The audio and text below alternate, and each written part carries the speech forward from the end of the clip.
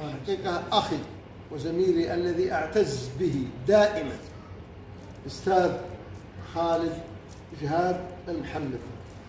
آه، من أسرة معروفة من كبار أسر قبيلة ولد محمد. نعم. أنا أعتز به كزميل وكصديق وأعتز بحضوره ومشاركته معي في رحلات كثيرة.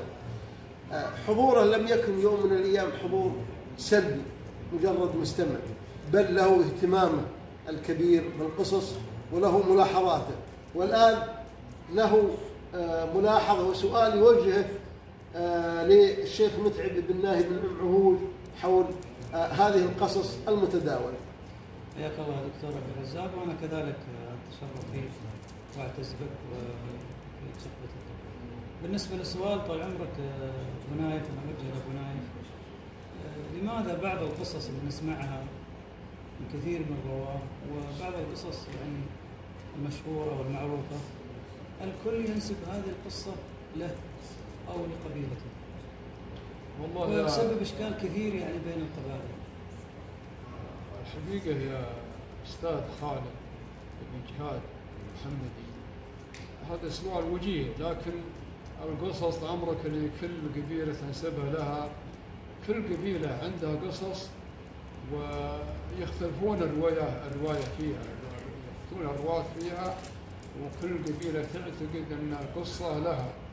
فهذا مما سبب التباس في في هذا الشيء.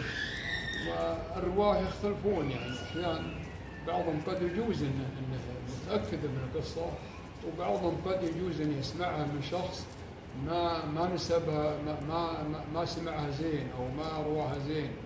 الرو- الرواه اللي رواه له فهذه من الأشياء الأمور اللي تلتبس على بعض الرواة أو القبائل ولكن كل قبيلة لها حقها من رجالها وبها لها قصص المجيدة ولها القصص العزيزة كل قبيلة النعم فيها. فلهذا السبب يعني أن بعض الرواة قد يجوز أنهم ما أخذوها من من منشأ يعني صحيح أو مصدر موثوق فيه. ولكن كل قبيلة لها قصصها ما بشك لها قصصها العريقة المجيدة ونعم بكل القبائل أحسنت أبا نايف وأحسنت السؤال أبا جهاد.